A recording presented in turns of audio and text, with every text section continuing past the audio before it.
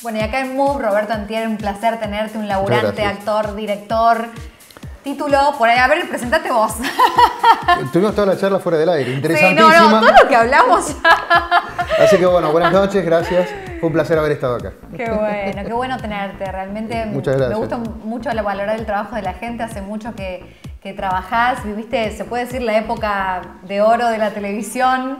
Me gusta también escucharte un poco y saber cuál es tu opinión sobre la televisión actual. Y contarme todo lo que estás haciendo, porque seguís actuando, dirigiendo. Sí, por suerte. Eh, la televisión actual está, en, como muy polarizado, por lo menos la de aire este, dos fenómenos muy grandes que resultan muy interesantes para, la gente porque los ratings así lo demuestran. Por suerte este, hay muy buenas ficciones, eh, que el año pasado eran dos, pero Dios mío, hay cosas que son, hay escenas que son de películas. Digo, si esto se hizo en un programa diario que se va a ver una vez y nunca más, y se tomaron el laburo de hacer cosas muy delicadas, muy de detalles, ¿entendés? Porque hay gente que ama esto y lo hace muy bien. Bueno, y hablame del trabajo, cantame una que sepamos todos. el gustito por las tablas es, es, tu pasión, digamos, desde ya, número uno, ¿no? Desde ya, desde ya, eso no, no, no, no me abandona como, como el desodorante. Este, Qué bueno. Eso, sí, sí, lo habrás notado. Este, no, y hacemos con Pablo Novak, una que sepamos todos, un tributo a Gachi Ferrari.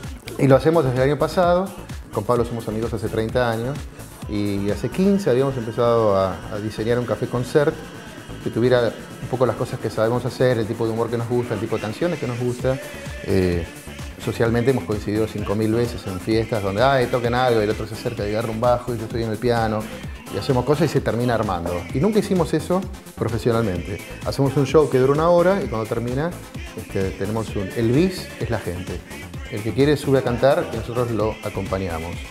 Y se ha empezado a hacer como, como una lista este, especial de invitados, porque ha venido y ha pasado eh, Chico Novarro, Daniel García, María Volonté, Cecilia Milone, eh, Clara Terán, Martín Bianchedi, Gabriela Pochinki, digo, hemos tenido unos lujos, así que la gente se está llevando un show extra.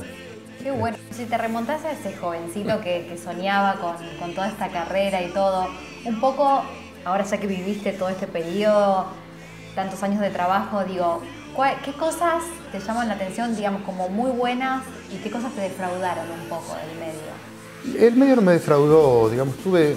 Eh, vas aprendiendo a leer las cosas. Me parece que se aplica en cualquier profesión. Sí, aprendes a jugar este, un poco. Vas aprendiendo a adaptarte, vas aprendiendo a cómo son las reglas, que las reglas cambian, pero las reglas de la vida cambian.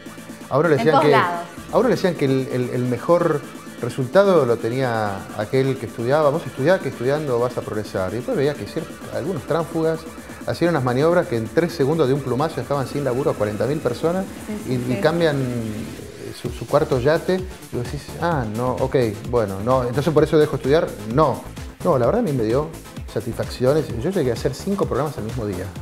Llegué a grabar cinco programas el mismo día.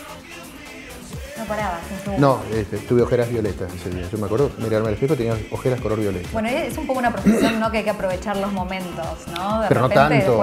Tenía, tenía 19 años, pero llegué a hacer cinco programas el mismo día. Exteriores de uno, el coso de oro, me estaban esperando, me tomo un taxi, sin celular, sin nada. con el corazón así, que no sabía si llegaba. Bueno, de sin celular y otras cosas hablamos en el espectáculo, porque era totalmente otra vida.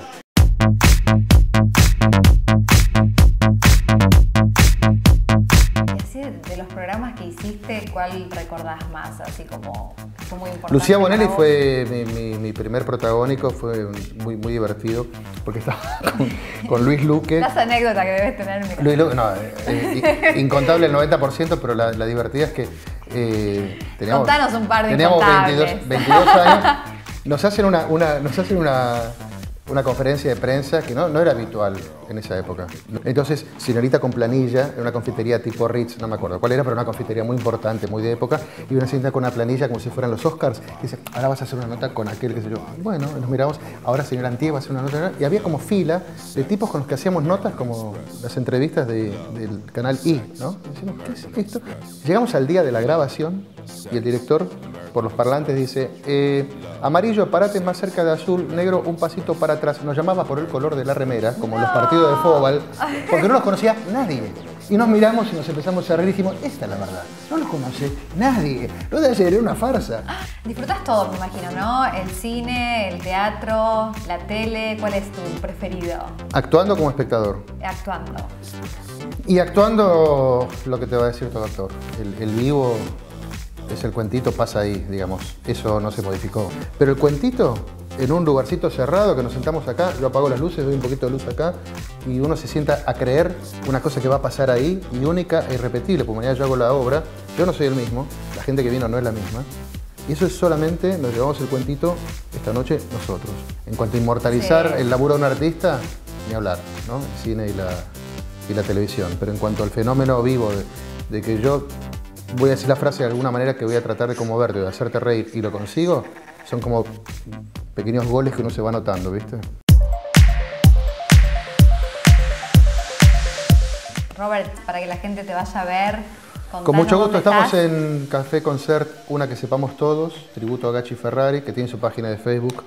Hay que agregar la palabra Café Concert, una que sepamos todos, ahí está toda la información, este, comentarios de la gente que asistió, ahí en Callao y Paraguay, sábados a medianoche, que es un lugar exquisito.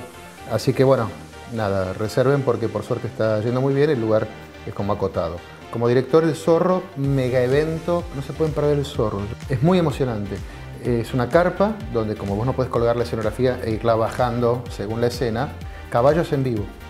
Entonces la persecución del capitán monasterio y los lanceros al zorro con caballos en vivo que pasan por la gente, ya sea dentro de la película.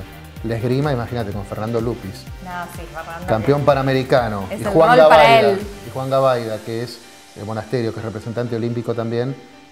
El duelo final de Monasterio y el Zorro, si fuera ballet, sería eh, Piquín y Julio Boca. Y arranca el 26 de mayo eh, en el Trilenium, en el Tigre. Buenísimo. Gracias por, por estar acá. La verdad que me encanta escucharte, que Por sigas favor. trabajando con mucho éxito. Y bueno, Un placer no se pierdan las obras. ¿eh? sigan ustedes con la, con la propuesta esta de volver a hablar de espectáculos. ¿Se acuerdan cuando la gente llamaba a un actor para hablar de, Acá te damos el de espacio, acá en? Move. Muchas gracias. Gracias, Muchas gracias Roberto.